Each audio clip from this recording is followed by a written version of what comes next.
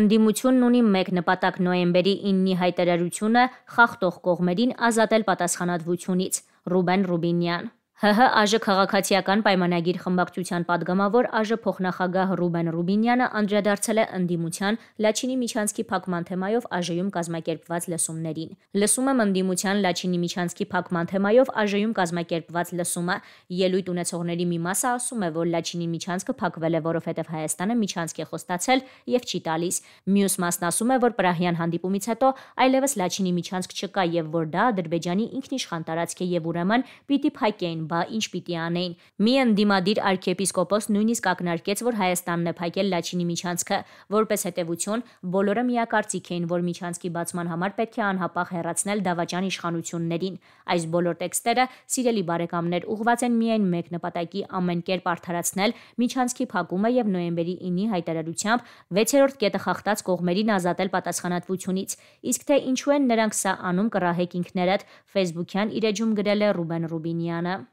Ժնևում հոկտեմբերի 2-ին Հայաստանի եւ Ադրբեջանի արտգործնախարարների միջև տեղի ունեցած հանդիպման առնչությամբ տեղեկատվությունը բավականին սուղ է եւ առավելապես պաշտոնական հաղորդագրությունների շրջանակում է, որոնցում արդենից նշмарվել է մի հակասություն։ Ադրբեջանական կողմը հայտնել էր, թե առաջարկել են սահմանագծման եւ սահմանազատման հանձնաժողովին նոեմբերին նախատեսված հերթական նիստը անցկացնել հոկտեմբերին Երևանը հայտարարեց, որ այդպիսի առաջարկ քննարկվել է եւ դրա հեղինակը հենց Հայաստանն է, սա իհարկե ուշադրության արժանի հանգամանք է։ Արտգործ գործնախարարների Ժնևյան հանդիպումը ըստ երևույթին անցել է կամ արդյունավետ, սակայն փորձ է արվում հարաբերական տեղեկատվությամբ թողնել հակառակ տպավորություն եւ այդ կերպ ապահովել արդյունավետ շարունակության հերանեկար կամ գործնականում կա այն, ինչ երևում է առաջին իսկ հայացքից, այսինքն չկա էական որևէ փոխհամաձայնություն եւ դիրքորոշումների մերձեցման միտում, որը թույլ կտա դիտարկել ավելի կայուն քաղաքական գործընթացի շոշափելի հերանեկար։ Ընդ որում ուշադրության է արժանի թե այն հանգամանքը, որ արտգործնախարարների հանդիպումից առաջ հրապարակի չեցվեց հայ գերիների Հայաստանցիների գնդակահարման շոկային տեսանյութը,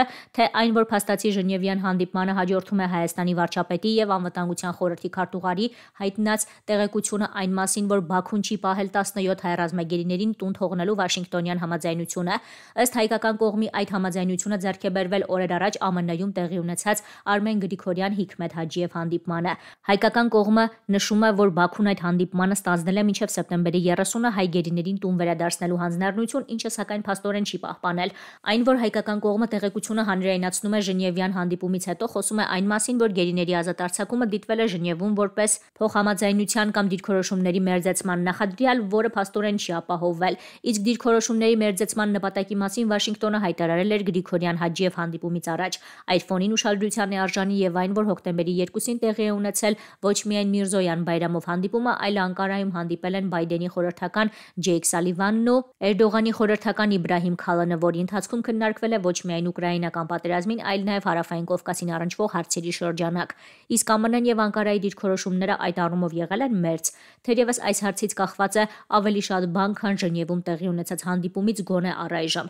Հարավային Կովկասի եւ Վրաստանի ճգնաժամի հարցերով Եվրամիության հատուկ ներկայացուցիչ Տոյվո Կլարը գրել է, թե ստացել է տեսանյութեր ադրբեջանցիների հանդեպ իրականացված իբր վայրագությունների վերաբերյալ։ Կլարը գրում է, որ բոլոր տեսանյութերը պետք է հետաքննվեն, որ պատերազմը երկու կողմից էլ թողել է խորը վերք։ Այն, որ պատերազմը խորը վերք է թողնում բոլոր կողմերից կասկածից վեր է, բայց սա այլ բան չէ, քան մարդկային հուզական հանգամանքի քաղաքական խաղարկում, որի միջոցով փորձի արվում լեղոզել Եվրամիության էներգետիկ գործընկեր Ադրբեջանի պատերազմական հանցագործության պատասխանատվությունը։ Կլարը նախորդին անդրադարձել էր տարածված տեսանյութին, որտեղ Ադրբեջանի զինուժի վայրագություններն էր հայ գերիների անզեն զինվորների նկատմամբ, որոնց գնդակահարում են 2-3 մետր հեռավորությունից։ Կլարը գրել էր, թե այդ տեսանյութի իսկությունը հաստատվելուց հետո պետք է լինի պատասխանատվություն եւ ահա պատասխանատվություն կոչվածը ըստ երևույթին եղել է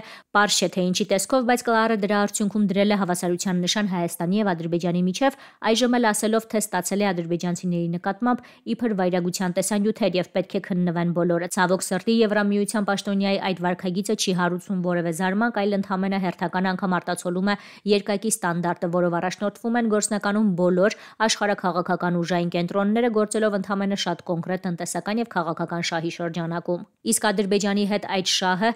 կլարի ղեկավար Ուրսուլա ֆոն դեր Լյայենը փաստաթղթավորել է 2022 թվականի հուլիսին Բաքու կատարած այցով, որտեղ ստորագրվել է Բաքվի հետ էներգետիկ հուշագիրը մինչև 2027 թվականը ադրբեջանական գազի Եվրոպա արտահանման ծավալներն ավելացնելու վերաբերյալ։ Իսկ հոկտեմբերի 1-ին Ալիևն ու ֆոն դեր Լյայենը նստած էին կողք կողքի գազատարի բացմանը։ Ահա այդ համատեքստում հայ-ադրբեջանական հակամարտությունում հավասարության նշանի ավանդական քաղաքականության առումով զարմանալի չէ, որ Եվրամիության հատուկ ներկայացուցիչը հանկարծ ստանում է նաև ադրբեջանցիների հանդեպ կատարվածի մասին ինչ որ տեսանյութեր։ Ազգային ժողովի մեծարգո նախագահ, հարգելի գործընկերներ,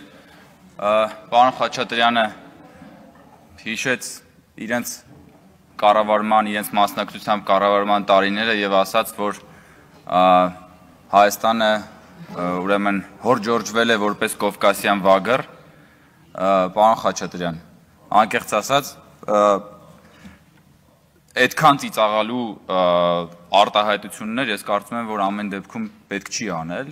Ենթադրում եմ այդ վագրի ատամները քաշել էին, մորթին էլ կախել էին ինչ որ մարդիկ իրենց շքեղ ապարանքներում եւ երևի իրենց տնտեսական ցածկերն էին Կովկասյան վագրային թրիշկ իրականացրել։ Ես ուզում եմ հիշեցնել, որ դուք կոալիցիոն կառավարության մաս եք եղել եւ իշխանության մաս եք եղել եւ Ռոբերտ Քոչարյանի եւ Սերժ Սարգսյանի իշխանության տարիներին եւ եւ իրենց եւ եւ եւ իրենց եւ եւ իրենց ուրեմն իշխանության եւ իրենց իշխանության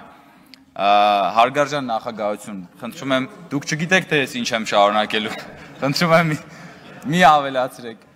Եվ եւ եւ Ռոբերտ Քոչյանի ու Սերժ Սարգսյանի կառավարման տարիներին Հայաստանից հեռացել է շուրջ կես միլիոն մարդ։